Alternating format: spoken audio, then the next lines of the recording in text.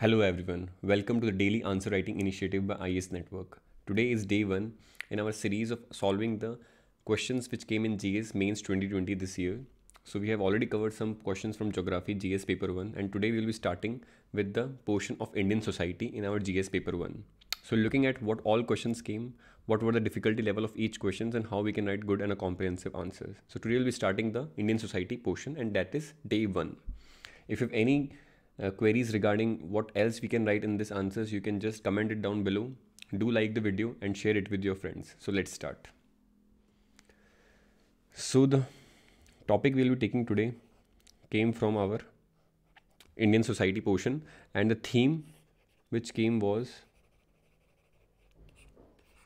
caste system. And the question was the question says has it is asking has whether yes or no. Has the caste system lost its relevance in understanding the multicultural indian society? It is asking जो caste system है which was actually a way to understand the multicultural society of india has lost its relevance in recent times or not relevance किस चीज़ में? Understanding that multi cultural phenomena ठीक है? So it is asking has so has means it can be yes it can be no और it can be both yes और no ठीक है? तो दोनों इसके आंसर्स हो सकते हैं. It is now saying elaborate. This is the question tag we have. This is a question tag. Elaborate your answer with illustrations. Specifically बहुत सारे क्वेश्चन इस बार ऐसे आए जिसमें बोल रहे हैं कि justify with examples elaborate with illustration so we need to give a proper and due focus on this illustration that is we need to give examples we need to show और we need to give case studies in order to show how these things are actually there और not whether whether the relevance has been there intact or whether relevance has been eroded in recent times. Again, it was a 10 marker question. That means UPSC will be awarding two pages to write and the prescribed word limit is 150 words. So the approach will be the classical approach that first will be writing the introduction, second will be writing the body and third will be writing the conclusion part.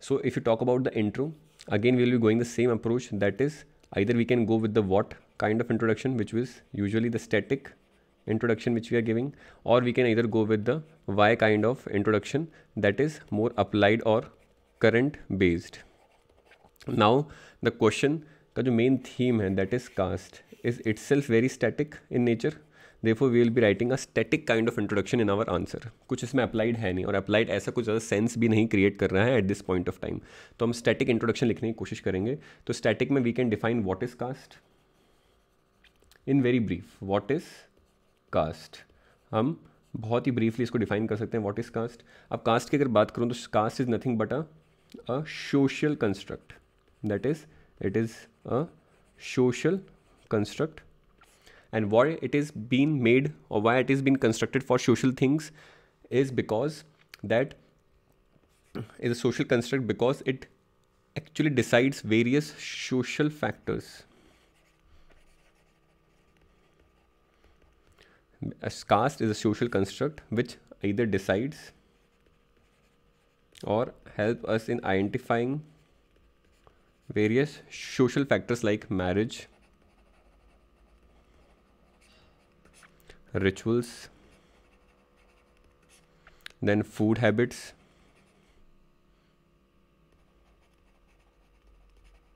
etc also work or we can say occupation. So caste is a social construct which help us to identify and decides various social factors like work, occupation, marriage, rituals, etc.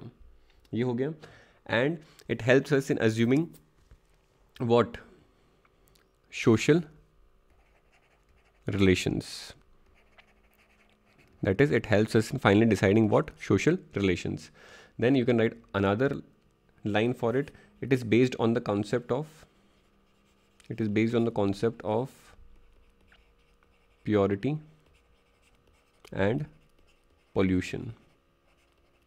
ठीक है? तो ये basic C definition which you all know that caste is a social construct which help us to identify various social factors these these these and help us to decide and maintain various social relations ठीक है? And these are based on concept of purity and pollution तो introduction हो गया, बहुत ही static introduction है. It will not take more than three two four lines of your answer and then straight forward you will coming to the body part अब body part की अगर बात करूँ तो बॉडी पार्ट के अंदर if you are allocating like if you are saying body part is hundred percent then for first part will be giving रफली around seventy percent अब क्यों देंगे, इसको हम देखते हैं।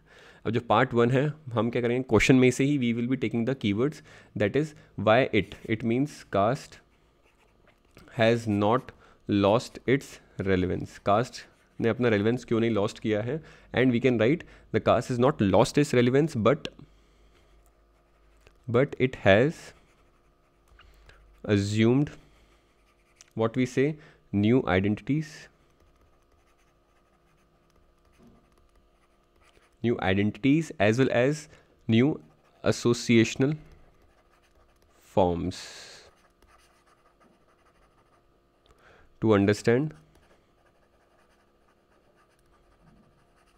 multicultural society of India. ठीक है? तो हमने क्वेश्चन से ही क्या सारे वर्ड्स उठा लिए और हमने एक स्टेंडेंस लिख दिया। The caste is not it lost its relevance but it has assume new identities and association forms to understand the what the multi cultural society of India अब बताते हैं कि कैसे लॉस्ट नहीं किया है रेलिवेंस तो कैसे लॉस्ट नहीं किया तो उसकी हमें रिफ्लेक्शंस कहाँ मिलते हैं? In our vote bank politics ठीक है? वोट बैंक पॉलिटिक्स में हमने क्या देखते हुए मिलता है caste represents easily identifiable vote bank ठीक है? अगर कास्ट हम देखा जाए तो कास्ट क्या है usually it represents what? Caste represents easily identifiable vote bank and therefore in politics more than class caste dominates because it forms a important vote bank politics because identity of caste is more clearer then identity of class which is more blurred ठीक है तो ये हो गया अब इसके अगर examples दें उस क्वेश्चन में क्या लिखा है that you need to give illustration elaborate with illustration तो हम बता सकते हैं, बहुत सारी क्या हैं, बहुत सारी पॉलिटिकल पार्टीज़ हैं विच हैव असर्टेड दैमसेल्व्स ठीक है by following political parties based on caste identities ठीक है तो बहुत सारी पॉलिटिकल पार्टीज़ जो हैं पॉलिटिकल पार्टीज़ ठीक है have emerged and asserted themselves on, based on based on caste अब एग्ज़ाम्पल दे सकते हैं इसमें। What example we can give Bahujan Samaj party ठीक है एग्ज़ाम्पल हो गया हमारा। Again if you want to talk about there are various groups as well which have emerged and organization which have emerged in the name of caste example क्या हो गया हमारे पास? ऑल इंडिया हरिजन संघ ठीक है then we have another we called as great Chamar association great Chamar association ठीक है, उसके तक और बहुत बहुत सारे नाम हैं like Sarva Hindu Sangoshthi Sangh so you can name few whatever coming to your mind at that point of time and you can show that how caste is actually playing a critical role in the vote bank politics and therefore it is helping us to understand the diverse nature of the caste which are present in our Indian society ठीक है तो इससे क्या है कि हमें multicultural aspect जो है सोसाइटी का वो कास्ट से पता लग रहा है। Then if you talk about caste is also manifesting in the form of subversive untouchability ठीक है which is a feature of our multicultural society कि untouchability was practice early rage well but now it is been transform in to a aspect called as subversive untouchability अब इसमें कैसे दिखती है? We have usually see this in the form of that it remains in households we usually see many times this in our households and in our surroundings like in the form of or the attitude of subversive untouchability done on maids, on servants, then on drivers, etc. ठीक है अब हो क्या रहा है thus even though upper caste and caste based discrimination has barred under the constitution ठीक है? अब untouchability has been barred by the constitution ठीक है? Still aspects like manual scavenging have been seen still क्या है? There are many cases still more cases of manual scavenging are visible and these manual scavengers are usually from the lower caste. Therefore it helps us to understand this aspect of the society that untouchability in its subversive form still exists in households. And also the constitution although barred the aspect of untouchability under article 17 still many cases of manual scavenging are visible. And these manual scavengers are usually people from people from the lower caste ठीक है, ये हो गया clear point इसके बाद अगर हम next आएँ तो in the form of education education की फ़ील्ड में ऑल हमने देखा गया है कि प्राइमरी एजुकेशन जो है, ठीक है according to government primary education is universal ठीक है but still many aspects of the education system ठीक है are been dominated by the caste system अब कास्ट सिस्टम कैसे डोमिनेट करता है एजुकेशन सिस्टम को? उसके लिए we have so many good statistic stats like according to UNICEF अब यूनिसेफ इसमें क्या बोलता है UNICEF is of the view that 51% of Dalit children drop out of elementary drop out of elementary schools ठीक है? And as against visa way as against only thirty seven percent of childrens are drop out of elementary school which are non Dalit और non Adivasis तो UNICEF की report है। This we also can give as illustration ठीक है? And therefore what happens is these people who are being stratified. okay stratified in the aspect of educations are every year coming into the vicious circle of vicious circle of poverty. And as a result the next generation next generation will also fall prey of what? Dropping out of schools due to various social reasons. तो एक illustration हमने यहाँ पे दे दिया। अब और भी बात करें अगर तो बहुत सारे पॉइंट्स हैं इसमें। तो we can combine all other points remaining points under social dimensions तो इसमें बता सकते हैं कि the aspect of sanskritization is clearly visible अब संस्कृटाइजेशन का मतलब क्या होता है कि जो लोअर क्लास के लोग होते हैं they usually try to imitate the habits rituals and practice of the upper caste ठीक है to climb the social ladder ठीक है, जैसे मान लो ये ब्राह्मण है, ठीक है, और ये दलित हैं तो usually it what it do practice the rituals it practice the habits it practice other aspects of cultural things which a Brahmin is doing ठीक है which a Brahmin is doing so as to climb this social mobility ladder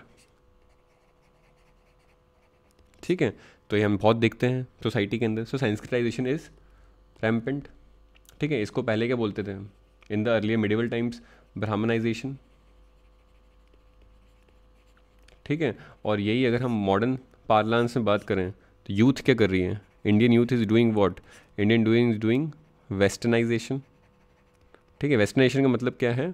Imitating the habits practice and cultures of the western world ठीक है like TikTok and clubbing tattooing ठीक है these are the westernisation things which are not equivalent to the aspect of modernisation although ये नहीं लिखना है, बस हमें यहीं पर संस्कृताइजेशन का आस्पेक्ट बता के हम बता सकते हैं कि दिस इज़ ऑल्सो एग्जिस्टिंग हम इसका एक रिफ्लेक्शन किसमें देख सकते हैं? मेट्रीमोनल साइट्स में, ठीक है?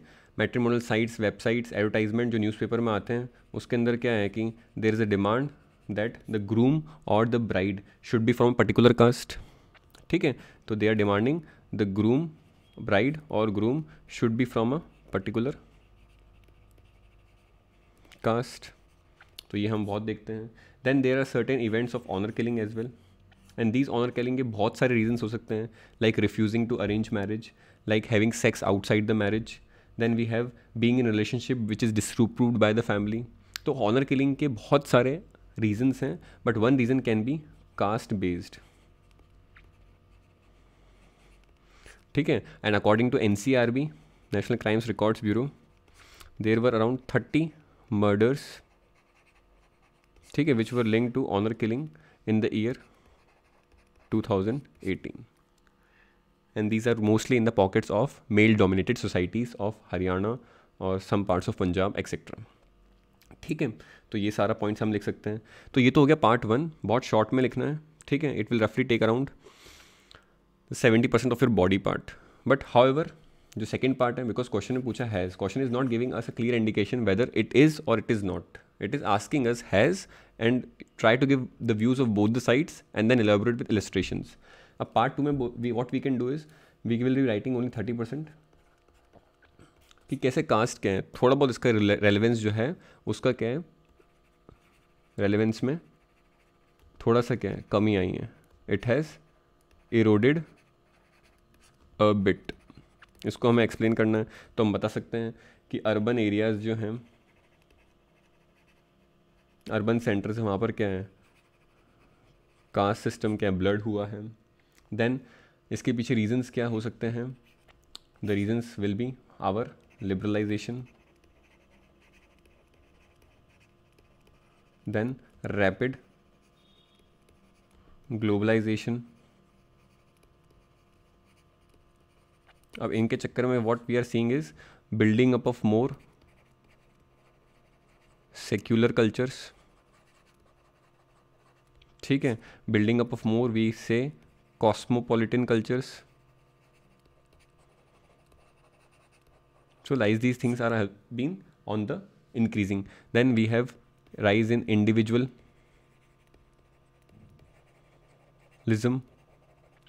then it also gives us what an aspect of anonymity so these are the possible things which you are seeing अब इसकी अगर हम एक इलस्ट्रेशन दें यहाँ पर हाउएवर सेकंड पार्ट के अंदर तो you can make a small table ठीक है और उस टेबल में you can write certain festivals which earlier were been practice by specific caste of the society but now it is been celebrated by mostly all people तो example क्या हो सकता है? Diwali.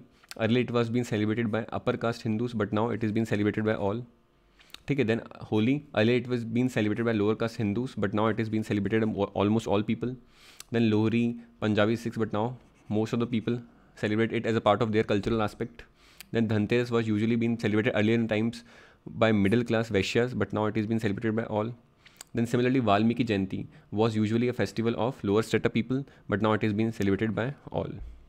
तो एक इलस्ट्रेशन हो गया ये हमारे हाउएवर वाले सेकेंड पार्ट में ऑफ़ द बॉडी ठीक है and we can say that also the intercaste marriages यहाँ पर हाउएवर के अंदर क्या है we can also give that intercaste marriages have also been on rise in recent times ठीक है at the same time what we else can light that khap panchayat ठीक है? Are now coming more under the scrutiny of judiciary so that is खा panchayat which are be, usually be caste dominated are now coming under the scrutiny of judiciary. तो this is how we can at our body part and conclusion part which is usually our five percent of the answer ठीक है? अब इस five percent answer में you can add many things तो हम बता सकते हैं कि that caste still exist caste still exist but its expression जो कास्ट का एक्सप्रेशन है कास्ट का एक्सप्रेशन है एक्सप्रेशन एक्सप्रेशन किस सेंस में? Of social exclusion of social exclusion and caste based and and caste based discrimination discrimination has not vanished has not vanished ठीक है तो हम बता सकते हैं caste still exist as an expression of social exclusion and caste based discrimination has not been vanished but what happen is but its aspect has become more subtle इसको कैसे pronounce करते हैं? सटल सटल मीन्स जेंटल और kind मतलब इसकी intensity में क्या है कि थोड़ी सी कमी आई है ज़रूर specially in the urban areas in the more developed pockets of the world हम यहाँ बता सकते हैं in develop pockets of India ठीक है? इंडिया में ही है मोस्टली द कास्ट सिस्टम ठीक है? और अगर हमें इसका पॉलिटिकल कंक्लूजन दिखना है तो political conclusion we can write that there should be strict implementation of right to equality under article fourteen अगर मान लो पेपर टू के अंदर आया था एक क्वेश्चन ठीक है? तो अब what we can do is और एक पेपर वन के अंदर भी सोसाइटी वाले पार्ट के अंदर we can write aspects of social justice ठीक है तो ये हम, यहाँ पे भी वाली चीज़ लिख सकते हैं।